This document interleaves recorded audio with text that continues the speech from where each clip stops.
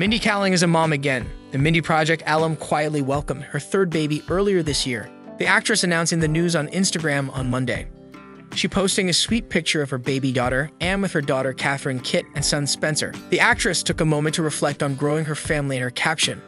She also shared a photo that featured her baby bump as well as a snap of her in a hospital bed alongside her older two kids.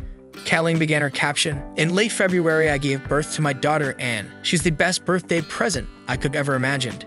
When things are hard, whenever I veer towards cynicism, my three kids are such a great reminder of the pure joy in my life. I'm so lucky I live in a place where I could do this by myself on my own timeline. Thanks for all the birthday wishes. Since the surprise announcement of her first pregnancy in 2017, Kaling has never revealed the identity of the father of her children. She has been busy keeping up with her first little ones. However, she does have help raising her two kids, telling People News in 2021 that it absolutely takes a village. That village includes her nanny, her father Avu, and none other than Reese Witherspoon, whom Kaling has lauded as a great source of parenting advice. Kaling typically chooses to keep her kids' faces off social media, telling People News. I feel like I might as well wait until they get old enough, so they can tell me if they want to be part of my social media or not.